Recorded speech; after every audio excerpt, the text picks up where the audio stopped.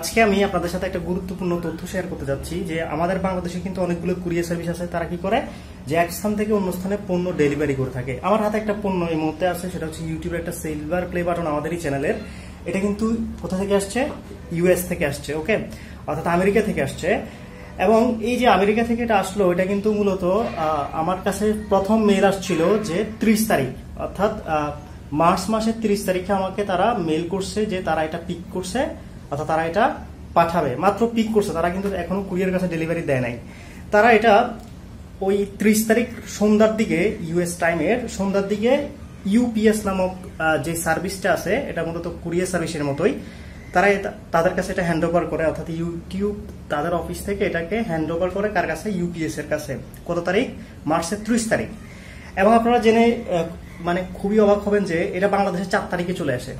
চার তারিখে বাংলাদেশে চলে আসে এবং কাস্টম ক্লিয়ারেন্স সহ ঢাকায় আসে মূলত এবং সেটা এয়ারের মাধ্যমে আসছে, অর্থাৎ ফ্লাইটে করে। দেন হচ্ছে যে আমার কাছে চলে আসে চিটংয়ে সাত তারিখ সকালে, একদম সাত তারিখ সকালে আমার কাছে চিটং চলে আসছে। তাহলে খেয়াল করেন মানে ইউ, আমেরিকা থেকে একটা জিনিস বাংলাদেশে চলে আসলো মানে সাত দিনের মধ্যে। আর নর্মালি আমাদের দেশে দেখা যায় যে আমাদের দেশে যে কুরিয়ার সার্ভিসগুলো আছে, সেগুলো একটা প্রোডাক্ট মানে ডেলিভারি দিতে আমি এরকমও দেখছি যে দশ দিন লাগছে। সাত দিন লাগছে, ছয় দিন লাগছে। তাহলে আমাদের যে দেশের যে কুরিয়ার সার্ভিসগুলো, তাদের সার্ভিসিং এত বাজে কেন আমি বুঝতেছি না। যেখানে আমেরিকা থেকে একটা প্রোডাক্ট আমার হাতে চলে আসছে উইথ কাস্টম ক্লিয়ারেন্স আমার কাছে কিন্তু কাস্টম থেকে ফোন আসছিল যে আপনার একটা সোশ্যাল অ্যাওয়ার্ড আসছে আমাদের কাছে, আপনি একটু রিকগনাইজ করবেন। আমাকে কিছু লিগাল ডকুমেন্টস পাঠাতে বলল, যেমন আমার এনআইডি পাঠাতে বলল, তারপর হচ্ছে আমাকে একটা অথরাইজেশন লেটার দেওয়া লাগছে একটা ওকে তাহলে কাস্টম ক্লিয়ারেন্স সহ আমার কাছে আসছে হচ্ছে সাত দিনে। এ তাও ঢাকা হলে তো আমি চার তারিখে পেয়ে যেতাম। চার তারিখ বা পাঁচ তারিখে পেয়ে যেতাম। তাহলে খেয়াল করো যে আমাদের দেশের যে জিনিসগুলো যে কুরিয়ার সার্ভিসগুলো তারা কেন পারতেছে না যে দুই দিনের মধ্যে ডেলিভারি দেওয়া একদিনের মধ্যে ডেলিভারি দেওয়া আমি আমি জানি না।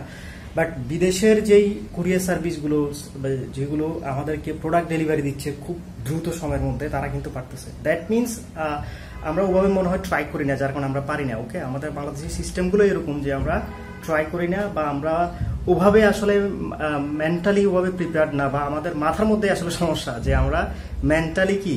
আমরা চিন্তা করতে পারি না যে এতদিনের মধ্যে করা যায় কিনা, একদিনের মধ্যে করা যায় কিনা দুই দিনের মধ্যে করা যায় কিনা ওকে বাট হায়েস্ট তিন দিনের মধ্যে করা যায় কিনা? দেখা যায় যে অনেক কুরিয়ার সার্ভিস আছে, আমি এরকমও দেখছি যে চার দিন, পাঁচ দিন, ছয় দিন লাগিয়ে ফেলে প্রোডাক্ট ডেলিভারি দিতে তো আমাদের দেশের কুরিয়ারগুলোকে আমি বলব আপনারা খুব দ্রুত কাস্টমারকে ডেলিভারি দেওয়ার চেষ্টা করবেন প্রোডাক্ট এবং আপনারা যারা আছেন, তারাও চেষ্টা করবেন সব সময় আপনাদের প্রোডাক্টগুলো কাস্টমারের কাছে পৌঁছানোর সময় ভালো কুরিয়ার সার্ভিস ব্যবহার করতে, যাতে খুব দ্রুত কাস্টমার কাছে প্রোডাক্টগুলো পৌঁছে যায়। আমরা যেমন হালদা পাবলিকেশনের পক্ষ থেকে অলওয়েজ চেষ্টা করি তিন দিনের মধ্যে আমাদের প্রোডাক্টগুলো বা আমাদের বইগুলো কাস্টমার কাছে পৌঁছে দিতে। এরকম আপনারাও চেষ্টা করবেন। ইনশাল্লাহ একদিন আমরাও আমেরিকার এইসব প্রতিষ্ঠানের মতো খুব দ্রুত সময়ের মধ্যে বাংলাদেশ থেকে আমেরিকা বা বাংলাদেশ থেকে বিশ্বের যে কোনো প্রান্তে প্রোডাক্টগুলোকে পৌঁছে দিতে পারব খুব দ্রুত সময়ের মধ্যে। তাহলে ভালো থাকবেন সবাই। আজকে চলে যাচ্ছি আল্লাহ হাফেজ, টাটা।